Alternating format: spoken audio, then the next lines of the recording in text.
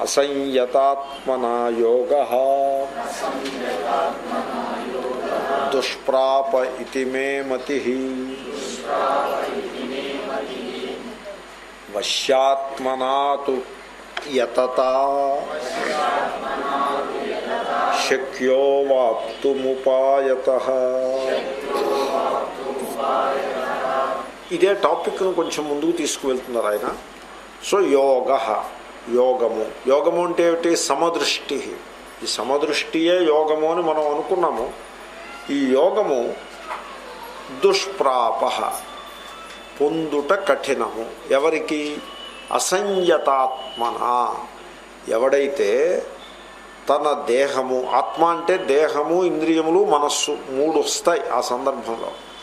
దేహము ఇంద్రియములు మనస్సు ఈ మూడింటిని ఎవడు తన వశంలో పెట్టుకోలేదో వాడు ఈ సమదృష్టి అనే యోగాన్ని చేరుకోలేడు. ఇది మే మతి. సపోజ్ నేను దేహాన్ని ఇంద్రియాలని మనస్సుని నా వశంలోనే పెట్టుకున్నాను అనుకోండి అప్పుడేమవుతుంది?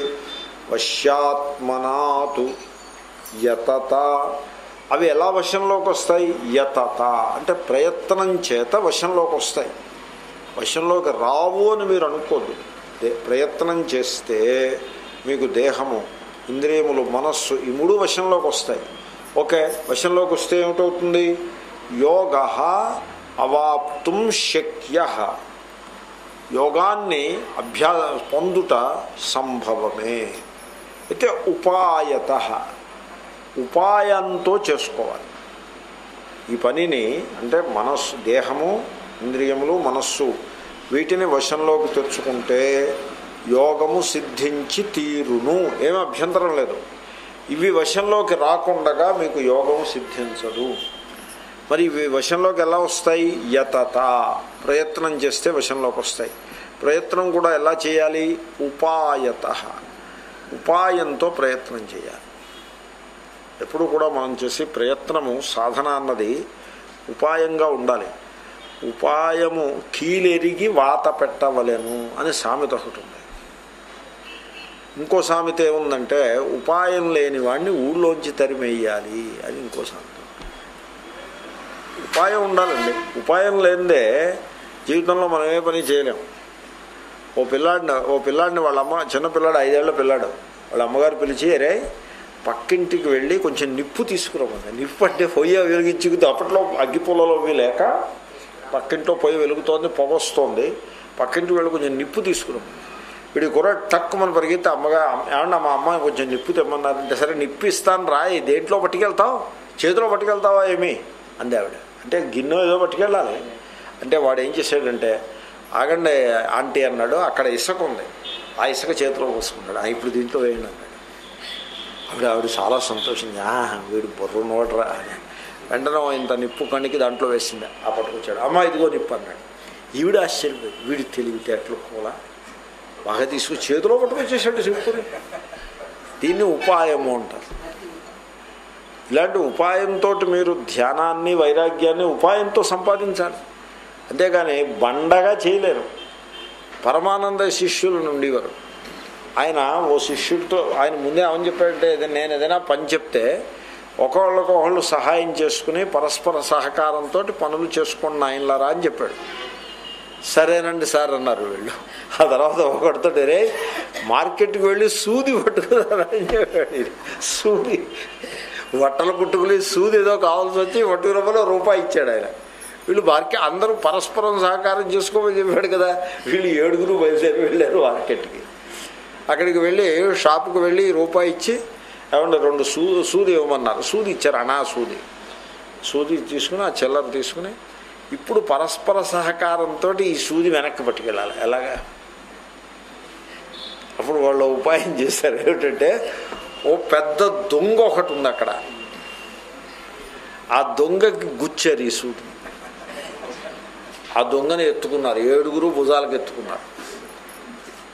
ఓం ఓం ఓం ఆ దొంగను మూసుకొచ్చి ఇంటి ముందు పారేశారు. ఏమిట్రా ఈ దొంగ? మీకు సూది తెమ్మన్నాను కదా సూది ఎదిరా అంటే ఆ దొంగ నుంచి తీసాయని చెప్పారు ఎందుకురా ఈ దొంగ ఎందుకు తెచ్చారంటే మరి ఏడుగురు సూది ఎలా పట్టుకొస్తాం మీరు పరస్పర సహకారంతో చేయమన్నారు కదా. సూది ఏడుగురు పట్టుకురావాలంటే ఎలా కుదురుతుంది? ఒక్కడే తేగలడు కదా. అగో. ధ్యానం ఇలా చేయకూడదు. వైరాగ్యం ఇలాగ ఉండకూడదు. ఇంక ఈవేళ నుంచి వైరాగ్యం అని ఇంట్లో వెళ్ళి దెబ్బలాట పెట్టుకున్నారనుకోండి అది వైరాగ్యం ఏమవుతుంది? వైరాగ్యం అవుతుంది. ధ్యానం చేయమన్నారు కదా అని తెల్లవారుసాము రెండింటికి లేచేసి నెత్తి మీద నీళ్ళు పోసుకుని ఇలా బిగుసుకుపోయి కూర్చున్నారనుకోండి అది ధ్యానం ఎలా అవుతుంది? కాబట్టి ఇలాంటి విడ్డూరపు పనులు ఏం చేయకూడదు. ఉపాయంగా చేయాలి. ఏ పని చేసినా ఉపాయంగా చేయాలి. ఉపాయత యతత.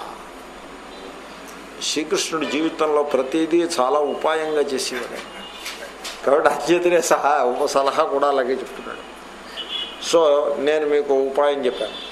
ఇప్పుడు పూర్వానికి ఒక ఆయన ధ్యానం చేసేవాడు. ధ్యానం చేద్దామని కూర్చుంటే బస్సులు లారీలు ఎవళ్ళో పక్కన గోల చప్పుళ్ళు ఇండియాలో చప్పుళ్ళకి లోటే ఉంది. ఈ ఈ చప్పుళ్ళతో నాకు ధ్యానం కుదరట్లేదు. అని ఆయన హైదరాబాద్ వదిలిపెట్టి హృషికేశ్ వెళ్ళిపోయాడు. అక్కడ హృషికేశ్లో ఈ చప్పుళ్ళు హైదరాబాద్ కంటే ఎక్కువగా ఉంటాయి. అది పిల్గ్రిమేజ్ టౌన్ అది. అక్కడ ఎప్పుడూ హడావిడే. అక్కడ ఈ ఫట్ ఫట్ అనే మూడు చక్రాల బళ్ళు ఇటు నుంచి అటు అటు నుంచి ఇటు తిరుగుతూ ఉంటాయి. వాటికి పేరు ఫట్ ఫట్. ఎందుకు ఆ పేరు వచ్చిందో తెలిసిన? అది కదిలిందంటే ఫాట్ ఫాట్ ఫాట్ అని పెద్ద సౌండ్ చేస్తూ కదులుతుంది. అది ఈ ఫట్ ఫట్ సౌండ్లు విని విని విని చెవులు గళ్ళు పడిపోయి నా వల్ల కాదు ఇక్కడ ధ్యానం అది. అక్కడి నుంచి పారిపోయాడు. ఎక్కడికి పారిపోయాడని ఉత్తర కాశీ వెళ్ళాడు ఉత్తర కాశీలో ఇంకో రకం కోల ఆ ఉత్తర కాశీ కూడా పెద్ద టౌన్ అది. అక్కడ కూడా ఏం ప్రశాంతంగా ఉండదు. అంతా హడావిడే. అప్పుడు ఇంకా అసలు టౌన్లో కానీ విలేజ్లో కానీ ఉంటే ధ్యానం కుదరదని అడవిలోకి పారిపోయాడు. అడవిలో చెట్టు కింద ఒక్కడు కూర్చో అడవిలో ఎక్కడ కూర్చున్నా చెట్టు కింద కూర్చున్నట్టే అవుతుంది కదా. చెట్లే ఉంటాయి. కూర్చుని ధ్యానం మొదలుపెట్టాడు ఈ లోపల పైనుంచి కావు కావు కావు అని కాకులు కోయడం ప్రారంభించాయి. ఓ బెడ ముక్క తీసుకుని కొట్టేశాడు. పారిపోయాయి. పారిపోయి మళ్ళీ ధ్యానం చేస్తుంటే మళ్ళీ ఐదు నిమిషాలు మళ్ళీ వచ్చేసాయి. ఇప్పుడు ఆయన ఏం చేశాడంటే ఇన్ని గులకరాళ్ళు పోగేసి ఎదురుకుండా పెట్టుకున్నాడు. పెట్టుకుని ధ్యానం చేస్తూ కావు అని వచ్చినప్పుడు అలా కొడుతూ ఉన్నాడు. ఇంకా ధ్యానం ఏం చేస్తాడు? ఇంకెక్కడికి వెళ్తాడు? అడవి తప్ప ఇంకేముంది వెళ్ళడానికి? కాబట్టి అది కాదు పద్ధతి. దానికి ఉపాయం చేయాలి. ఏమిటి ఉపాయం? నేను మీకు చెప్పాను. ధ్యానం చేసేప్పుడు ఏ శబ్దం వినపడినా ఆ శబ్దాన్ని మనస్సుతో విరోధించవద్దు. ఆ శబ్దం మంచిదని కానీ చెడ్డదని కానీ మీరు ఆలోచన చేయవద్దు సంకల్పించవద్దు. దానిని ఉపేక్ష చేసేయండి. ఉపేక్ష చేసేస్తే ఆ శబ్దాలు ఉన్నట్టే తెలియకుండా పోతుంది. దాన్ని ఉపాయము. మీరు ఎప్పుడైతే మైండ్తో రెసిస్ట్ చేశారో అది మరింత డిస్టర్బెన్స్ అయిపోతుంది. ఉపాయంతో చేయాలి. ఆ ఉపాయాన్ని పట్టుకోవాలి. ఏమిటి ఉపాయము? ఏ శబ్దం వచ్చినా దాన్ని పట్టించుకోవద్దు దానికి ఒక పేరు పెట్టద్దు. ఈ శబ్దము బాగులేదు. ఈ శబ్దము డిస్టర్బెన్సు మనకి ఆటంకం కలుగుతోంది అని అలాగంటి పేరు దానికి పెట్టద్దు. జడ్జిమెంట్ ఏమీ చేయొద్దు. దాని జోలికి వెళ్ళొద్దు. దాని గురించి అసలు మాట్లాడద్దు ఆలోచించద్దు. అంతే. అది ఉపాయం. మీరు ఎప్పుడైతే ఆ ఉపాయం చేశారో బస్. ఇంకా అది మిమ్మల్ని డిస్టర్బ్ చేయదు. అలా అలాగే నేను మీకు ఇందాక ఒక మాట చెప్పాను ధ్యానాన్ని ప్రేమించటం అభ్యాసం చేయాలి. తెల్లవారుజామున ఐదింటికి నిద్ర లేచి ధ్యానం చేయటం కఠినం. కానీ మొదటి రోజు కఠినం మొదటి వారం కఠినం. కానీ దాని మీద ప్రేమని మీరు నెలకు నేర్చుకుంటే ప్రేమించడం అభ్యాసం చేయాలి. ఇప్పుడు సిగరెట్ తాగి వాళ్ళు ఎలా తాగుతారు? మొదటిసారి సిగరెట్ తాగినప్పుడు వాడు పొద్దున్న తిన్న తిండంతా వాంతి వస్తుంది. చాలా కష్టం అయిపోతుంది సిగరెట్ తాగడం. కానీ వాడు వాంతి వచ్చినా కూడా మళ్ళీ ఇంకోసారి వెళ్ళి మళ్ళీ కుదుట పడ్డ తర్వాత మళ్ళీ సిగరెట్ తాగి ఆ రకంగా నేర్చుకుంటాడు. దృష్టాంతం మంచి దృష్టాంతం కాదు. అసలు ఊరికే ఏదో ఏదో దృష్టాంతం చెప్పాను. మీకు ఇబ్బందికరమైనది కూడా మీకు ప్రేమలోకి మార్చుకోవడం వీలు పడుతుంది. అందుకోసం దృష్టాంతంగా చెప్పాను. కాబట్టి ధ్యానం మొదటి రోజు ఇబ్బందికరంగా ఉన్నా రెండో రోజు ఇబ్బంది అయినా దాన్ని ప్రేమించి అభ్యాసం చేస్తుంటే ఆ ఇబ్బంది పోయి దాని స్థానంలో ప్రేమ నిర్మాణం అవుతుంది అది ఉపాయము అంటే అలాగే ఇంట్లో వాళ్ళు ఉపాయం అంటే ఎలా ఉంటుందో చెప్తున్నా. ఇంట్లో వాళ్ళు వాళ్ళు పొద్దున్న ఆరు అయిన తర్వాత మీరు లే వాళ్ళందరూ లేచిన తర్వాత మీరు లేచి ధ్యానం మొదలుపెట్టారనుకోండి. ఒకడు పళ్ళు తోముతూ ఉంటాడు తలుపులు వేస్తూ ఉంటారు తీస్తూ ఉంటారు షవర్ ఒకడు ఆన్ చేస్తాడు నీళ్ళు పారపోస్తూ ఉంటారు చప్పుళ్ళు చేస్తూ ఉంటారు పిల్లలకి కేవమని కేకలిస్తూ ఉంటారు ఇంక మీరు ధ్యానం ఏం చేస్తారు? ఉపాయం ఏమిటంటే వాళ్ళందరూ నిద్ర లేచి లోపల మీ ధ్యానం పూర్తయిపోయింది అనుకోండి ఇంక మిమ్మల్ని ఎవరు డిస్టర్బ్ చేస్తారు? అది ఉపాయం. కాబట్టి ఏ ఉపాయం ఎలా ఉంటుందంటే ఆ సందర్భాన్ని బట్టి ఉంటుంది. ఆ విధంగా ఉపాయంతో దేహాన్ని ఇంద్రియాలని మనస్సుని వశం చేసుకోవాలి. ఇప్పుడు ఆహారం ఇంద్రియాలని వశం చేసుకోవటంలో దృష్టాంతంగా మీరు రసన అంటే జిఫ్ఫని దృష్టాంతంగా తీసుకోవచ్చు. ఇప్పుడు మనకేమిటంటే ఫలానా విధంగా ఆహారం ఉండాలి అనో రూల్ పెట్టుకుంటాం మనం. అలా ఉంటేనే తినగలము లేకపోతే తినలేము అని పెట్టుకుంటాం అంటే దాని అర్థం ఏంటి? మనము ఆ ఇంద్రియానికి బానిసలమైపోయామని అర్థం. అలా కాకుండా సపోజ్ ఉప్పు కారం తగ్గించాలనుకోండి మీరు తగ్గించి తినడం అభ్యాసం చేయండి. మొదటి రోజు ప్రేమగా జాగ్రత్తగా తినండి. రెండో రోజు కూడా ఉప్పు కారం తగ్గించి తినండి. మీకు నాలుగు రోజులు అయ్యేప్పటికీ ఈ ఉప్పు కారం తగ్గించిన ఆహారం తినడం దాని మీద ఒక ప్రేమ బయలుదేరు. ఆ రకంగా ఇంద్రియాలని వశంలోకి తెచ్చుకోవాలి. ఇంద్రియాలని మప్పకూడదు. వాటిని మారాం చేసి వాటికి బానిసలుగా అవ్వకూడదు. వాటిని వశంలోకి తెచ్చుకోవాలి. ఇప్పుడు సపోజ్ ఎనిమిది గంటలకి బ్రేక్ఫాస్ట్ పన్నెండున్నరకు లంచ్ మళ్ళీ ఎనిమిదింటికి డిన్నర్ అని ఉందనుకోండి. ఏడింటికి ఆకలేసేస్తుంది అనుకోండి ఏడింటికి ఏదో నవలడం ప్రారంభించారనుకోండి. ఆ రకంగా ఇంద్రియాలకు వశం అయిపోతూ ఉంటాం. అలా చేయకూడదు. కొంచెం ఇబ్బంది అయినా ఆ టైం అయ్యే వరకు తినకూడదు. దేవుడికి నైవేద్యం పెట్టందే తినకూడదు. భోజనానికి భోజనానికి మధ్యన చిరుతిళ్ళు అంటారు. చిరు చిరు అంటే చిన్న. చిన్నవాటిని చిరు అంటారు. ఆ చిరుతిళ్ళు జంతికలు లేకపోతే మిరపకాయ బజ్జీలు లేకపోతే గులాబ్ జాములు ఇలాంటివి తింటూ ఉండడం అది మనం ఇంద్రియాలకి బానిసలమై ఉన్నామని అర్థం. ఆ చిరుతిళ్ళు తినకూడదు. లంచ్కి డిన్నర్కి మధ్యన నో అదర్ ఫుడ్. స్ట్రిక్ట్గా ఉన్న అలవాటు చేశారనుకోండి మంచి అభ్యాసం అయిపోయింది ఎదరవాళ్ళు తినమని బలవంతం చేసినా మీరు తినరు. ఆఖరికి దేవుడు ప్రసాదం ఇస్తే కూడా జాగ్రత్తగా పొట్లం కట్టి జేబులో పెట్టుకుంటారు తప్పించి తర్వాత తింటారు. భోజనం పాతో పాటు తింటారు. అంతేగాని అలా ప్రసాదం ఇలా వేయని ఇలా వేసుకుని ఇప్పుడు మీకు ఇచ్చి ప్రసాదం తినద్దని కాదు నా అభిప్రాయం ఇంకే దృష్టాంతం చెప్పాను. ఒక డిసిప్లిన్. అలా అయిపోతుంది. అలా తయారవుతుంది. కష్టమేం కాదు.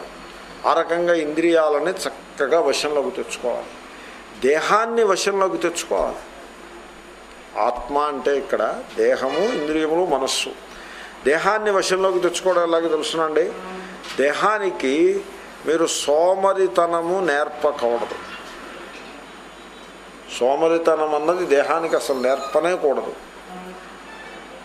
ఇప్పుడు నేను కుర్చీలో కూర్చుని ఉంటాను ఎవరో తలుపు తడతా. తలుపు తడితే ఇప్పుడు ఏ తొయ్ తోయ్ నువ్వే తోసుకురా అని కుర్చీలోంచి లేవడం ఇష్టం లేక ఇక్కడి నుంచి అరిస్తే అదో పద్ధతి. నేనేం చేస్తానంటే అసలు కదలడానికి అవకాశం రాగానే టక్కుమని లేస్తా. లేచి చెక్ చెక్ చెక నడిచి వెళ్ళి తలుపు తీస్తా. తలుపు తీసి మళ్ళీ వేసేస్తా. అది ఎందుకు మళ్ళీ వేసేస్తా ఇంకొకటి వస్తే మళ్ళీ లేచి ఇంకోసారి లేచి తీస్తాం. అని ఈ విధంగా ఒక పది అడుగులు ఎక్కువ వేయడానికి ఉత్సాహంగా ఉండాలి కానీ ఎప్పుడూ పని అవాయిడ్ చేసి సోమరితనాన్ని దరికి రానివ్వకూడదు. ఇప్పుడు ఇంట్లో ఇద్దరు ఉన్నారనుకోండి ఓ పెద్ద బట్టల మూట ఒకటి ఉంది చిన్న బట్టల మూట ఒకటి ఉంది. ఇవి ఉతకాలి. నువ్వో మూట ఉతుకు నేనో మూట ఉతుకుతాను అని అనుకున్నప్పుడు నేనేం చేయాలి? పెద్దది తీసుకోవాలా? చిన్నది తీసుకోవాలా? పెద్దది తీసేసుకోవాలి. ఆహా నేను చిన్నదే ఇద్దరు చిన్నదాని కోసం దెబ్బలాడుకోకూడదు. పెద్దది నేను చేసేస్తాను. ఎందుకని? పెద్దది చేస్తే ఏమిటవుతుంది? ఎక్కువ శ్రమ అవుతుంది. ఎక్కువ శ్రమ చేస్తే ఎక్కువ ఆరోగ్యంగా ఉంటుంది దేహం. అలా ఉండాలి.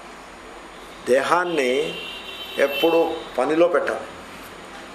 దేహం ఎప్పుడైతే పనిలో పెడతారో దాని ఎందు సోమరితనం పోతుంది.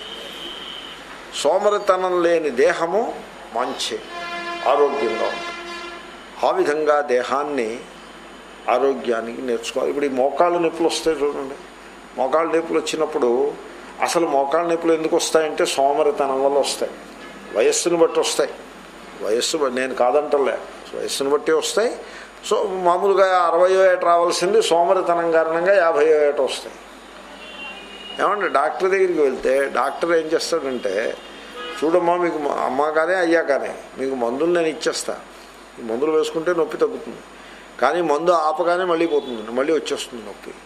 ఈ మందులు మోకాలు నొప్పి తగ్గించి కడుపులో మంట పుట్టిస్తాయి. మళ్ళీ అదో సమస్య ఉంది.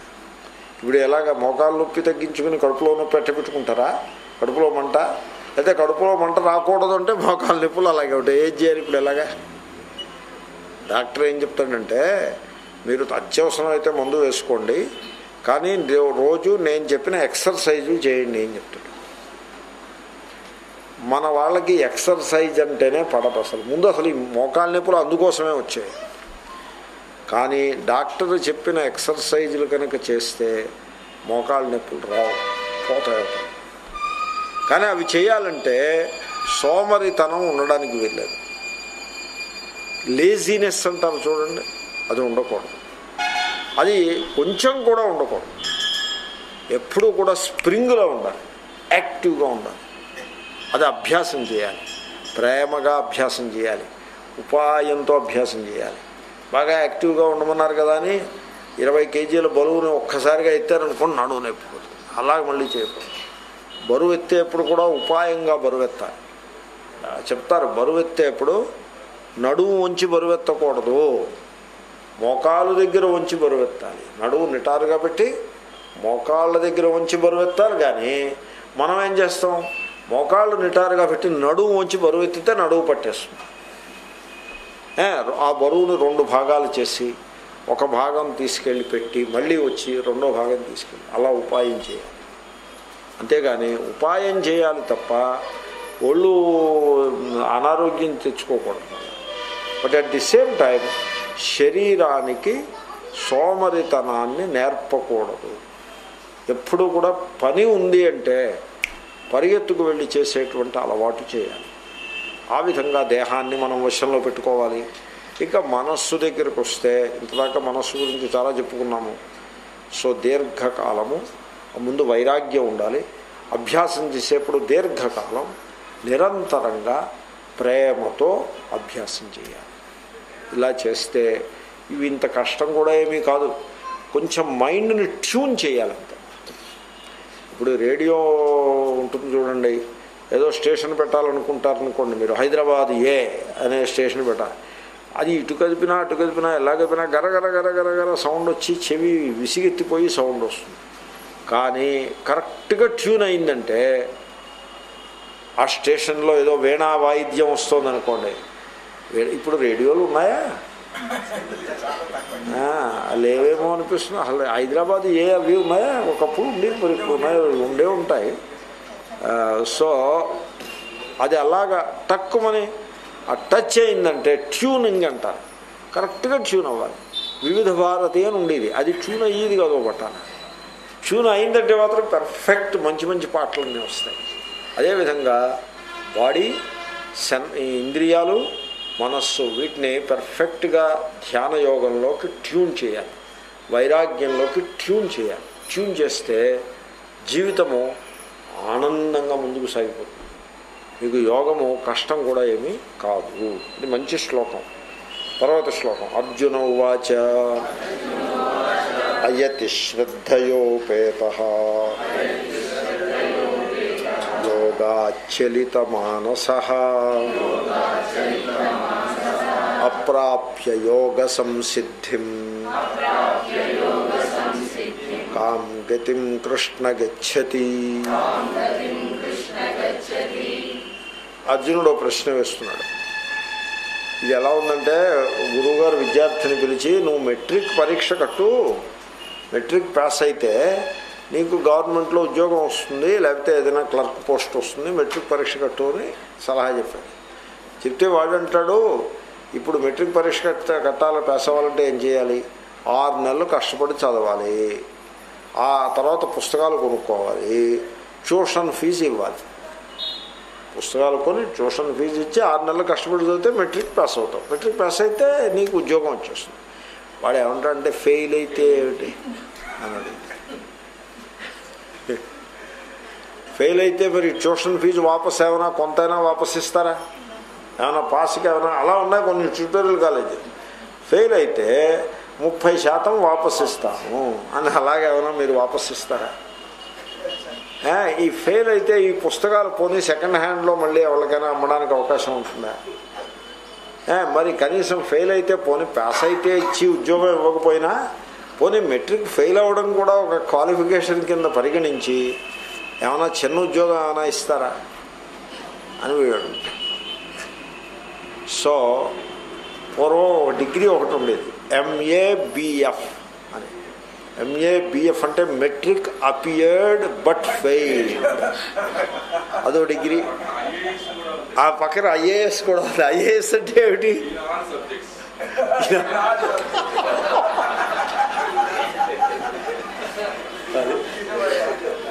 ఎంఏ బిఎఫ్ ఐఏఎస్ ఇది ఆల్ సబ్జెక్ట్స్ అలాగే ఎవరో చిన్న చెప్పుకొని మెట్రిక్ పాస్ అయితే క్లర్క్ ఇచ్చారు. మెట్రిక్ ఫెయిల్ అయితే అది మెట్రిక్ ఫెయిల్ అయ్యాడు కదా. ఇంటి దగ్గర కూర్చున్న వాడి నయం కదా వీడు. కాబట్టి వీడికి ఎదురా బొంట్రోత్ ఉద్యోగం ఏమైనా ఇస్తారా? అర్జునుడు అలాంటి ప్రశ్న అడుగుతున్నాడు. ఈ యోగం మొదలు పెట్టాము మొదలు పెడితే ఫస్ట్ ప్రశ్న ఫెయిల్ అయితే ఏమిటని. దీని మీద ఇంకొంచెం ముందుకెళ్ళి ఇంకో ప్రశ్న కూడా అడుగుతాడు. కాబట్టి ఈ ప్రశ్నకు కూడా సమాధానం చెప్పడమే అవసరం. ఎందుకంటే మనస్సు అలా పనిచేస్తుంది. ఫెయిల్ అయినా కూడా దీంట్లో నీకు ఫెయిల్యూర్ లేదురా బాబు అని శ్రీకృష్ణుడు చాలా హామీ ఇస్తూ పెద్ద పెద్ద గ్యారంటీలు ఇస్తాడు యోగాన్ని గురించి. ఈ సమాచారం అంతా మళ్ళీ క్లాస్లో మనం చూద్దాం.